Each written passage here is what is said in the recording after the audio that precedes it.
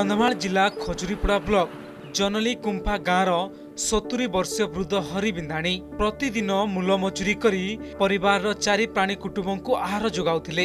ଜଙ୍ଗଲଜାତ ଦ୍ରବ୍ୟ ସଂଗ୍ରହ କରି ବଜାରରେ ବିକ୍ରି କରି ଦୁଇ ପଇସା ରୋଜଗାର କରୁଥିଲେ। ହେଲେ ଏବେ ହରି ବିନ୍ଧାଣୀ ଭାଗ୍ୟକୁ ଆଦରି ଦିନ କାଟୁଛନ୍ତି। ଦୁଇ ପଇସା ଆଶାରେ ଆମ୍ବ ତୋଳିବାକୁ ଗଛକୁ ଚଢିଥିଲେ ଓ ଗଛ ଡାଳ ଭାଙ୍ଗିଯିବାରୁ ତଳେ ପଡି ଯାଇଥିଲେ ଏବେ ତାଙ୍କ ବାମ ଗୋଡର ହାଡ଼ ଭାଙ୍ଗି ଯାଇଛି। ଦିନ ଥିଲା ପରିବାର ମୁହଁରେ ଆହାର ଦେବା ପାଇଁ ହରି କାଠ ପଥର ବୋଝ ଉଠାଉଥିଲେ କିନ୍ତୁ ଭାଗ୍ୟର ବିଡମ୍ବନା ନିତ୍ୟକର୍ମ କରିବା ପାଇଁ ହରିଙ୍କୁ ଭାର କରି ଉଠାଉଛନ୍ତି ପରିବାର ଲୋକେ। ଆଜ୍ଞା ମୁଁ ଗରିବ ଲୋକ। ଆଉ କିଛି କାମ ଧନ୍ଦା ନାହିଁ। ଆଉ କାଠପତ୍ର ବଣରୁ ଆଣି ବିକିକରି ମୋର ପରିବାକୁ ମୋର ବହୁତ ପରିବା ଆ, ପରିବାକୁ ବଞ୍ଚଉଥିଲି।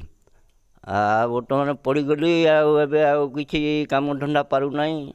ଆମ୍ବ ଗଛରୁ ପଡ଼ିଗଲି ସାର୍। ଆମର ତ ପଇସା ପତ୍ର ନାହିଁ ଆର୍ କେମିତି କରି ନେମୁ କିଏ ହେଲେ ଟିକେ ସାହାଯ୍ୟ କରତ ବୋଇଲେ ଆଜ୍ଞା ଆର୍ ହୋଇତା। ଝାଡ଼ା ଗଲେ ଟେକି ନେଉଛୁ ପରିସ୍ରା କଲେ ଟେକି ନେଉଛୁ ଟେକି ଆଣୁଛୁ ଆର୍ ଅକଲ ବଲରେ ଅଛି ଆର୍ କିଏ ହେଲେ ସାହାଯ୍ୟ ଟିକେ କରତେ ବୋଇଲେ ହୋଇତା। ଫୁଲବାଣୀ ମେଡ଼ିକାଲ ନେଇଥିଲି ଚିକିତ୍ସା ପାଇଁ। ହେଲା ନାହିଁ ପ୍ଲାସ୍ ରଡ଼ ଖଞ୍ଜିକିରି ଅପରେସନ୍ କର ବୋଲି କହିଲେ। ଆମର ତ ଟଙ୍କା ନାହିଁ। ଆଉ ଖଟିକି ଖାଇବା ଲୋକ ଆଉ କୁଆଡ଼ୁ ନେବୁ ସିଆଡ଼େ? ତାକୁ ଘରେ ରଖିକି ରହିଛୁ ଆଉ କ'ଣ କରିବୁ ଆଉ? ବୃଦ୍ଧ ହରିଙ୍କୁ ପରିବାର ଲୋକେ ପ୍ରଥମେ ଫୁଲବାଣୀ ମୁଖ୍ୟ ଚିକିତ୍ସାଳୟରେ ଭର୍ତ୍ତି କରିଥିଲେ। କିନ୍ତୁ ଗୋଡର ହାଡ଼ ସମ୍ପୂର୍ଣ୍ଣ ଭାବେ ଭାଙ୍ଗି ଯାଇଥିବାରୁ ଗୋଡରେ ରଡ୍ ଲଗାଇବା ପାଇଁ ଡାକ୍ତର ପରାମର୍ଶ ଦେଇଥିଲେ।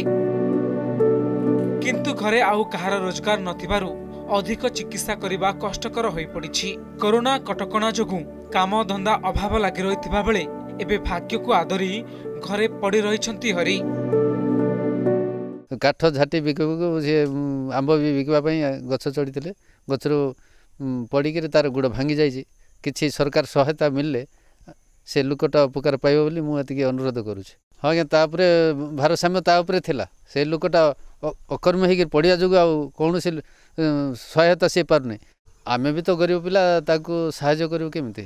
ତାକୁ କହିଲେ ମେଡ଼ିକାଲ କହିଲେ ନାଇଁ ରଡ଼ ଲଗାଅ ମେ- ବ୍ରହ୍ମପୁର ନେଇ କହୁଛନ୍ତି ଆଉ ଘର ଲୋକର ସମ୍ଭବ ନାହିଁ ସେ ମୋଡ଼ ପିଲା ବାଲା ପଡ଼ିକରି ଅଛି ସେମିତିକା ଘୁଷୁରୁଛି ଚିକିତ୍ସା କରିପାରୁନାହାନ୍ତି। କିଏ ଗୋଟେ ବଡ଼ ଲୋକ ସାହାଯ୍ୟ କରିତେ ଟିକେ ସେ ଚିକିତ୍ସା ହେଇପାରନ୍ତେ। ମୂଲ ମଜୁରୀ କରି ଚଳି ଯାଉଥିଲେ ଗୋଡ଼ ଭାଙ୍ଗିଗଲା ପରେ ଏବେ ସବୁ ଓଲଟ ପାଲଟ ହୋଇଯାଇଛି। ହରିଙ୍କୁ ଅଧିକ ଚିକିତ୍ସା ସମ୍ଭବ ହୋଇପାରୁନି। ଏତିକିବେଳେ ସରକାରୀ ସହାୟତା କିମ୍ବା ସହୃଦୟ ବ୍ୟକ୍ତିଙ୍କ ସହାୟତାକୁ ଅପେକ୍ଷା କରି ରହିଛନ୍ତି ହରି।